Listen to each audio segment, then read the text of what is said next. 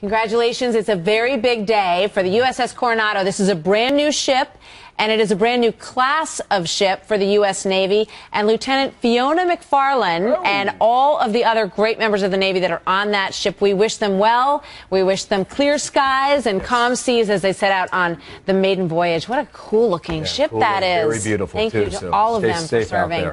And we wish them well.